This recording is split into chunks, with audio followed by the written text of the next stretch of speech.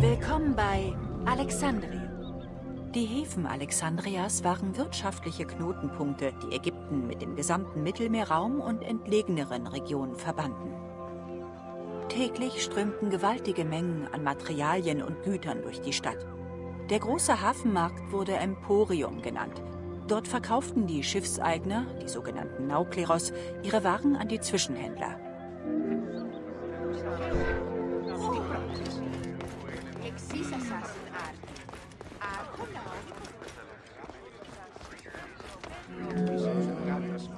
Ägypten exportierte Nahrungsmittel und Kunsthandwerk wie Keramik, Glas, Goldschmuck und Münzen.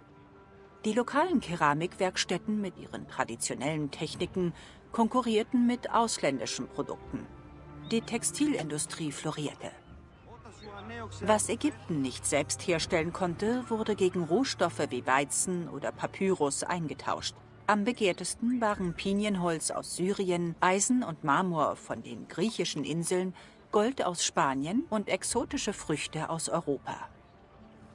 Der umtriebige Handel vergrößerte den ohnehin schon maßlosen Reichtum der Stadt.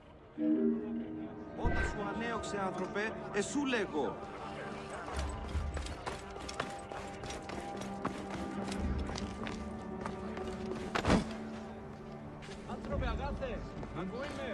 Δεν πως δυνάστε.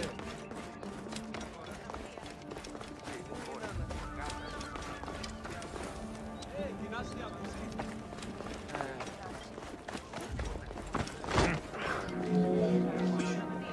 Das importierte Holz, das in Alexandrias Seehäfen ankam, wurde in die nahegelegenen Werften gebracht, wo man den Großteil der ägyptischen Schiffe baute.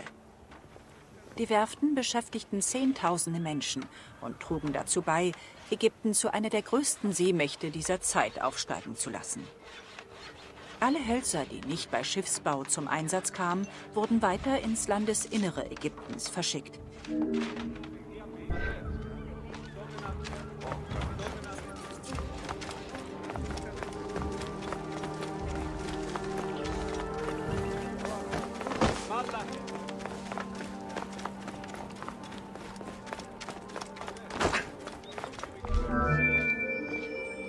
Der südliche Hafen des Mariotsees war der größte Alexandrias.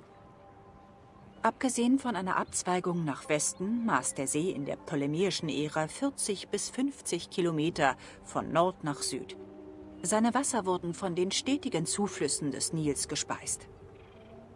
Neben dem See gab es auch einen künstlichen Kanal, über den auf Frachtkähnen Waren von der Stadt zum Hafen transportiert wurden. Wegen seiner Größe kommt er im Spiel aber nicht vor.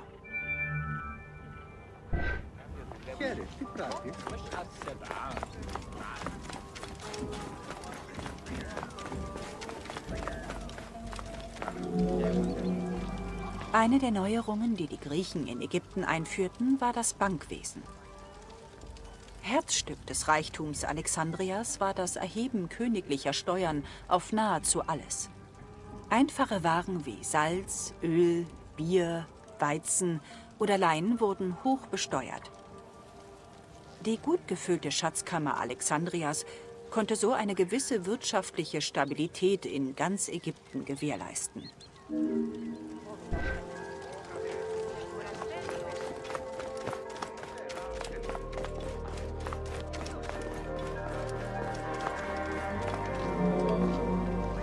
Im 12. Jahrhundert versandete schließlich der Kanal, der den See speiste, und der Mariotsee verlor seine Verbindung zum Mittelmeer und einen Großteil seines Wassers. Er begann zu verdunsten und schrumpfte auf einen Bruchteil seiner ursprünglichen Größe. Heute wird der Mariotsee durch künstliche Bewässerung erhalten. Allerdings besitzt er nur etwa 17 Prozent seiner ursprünglichen Fläche.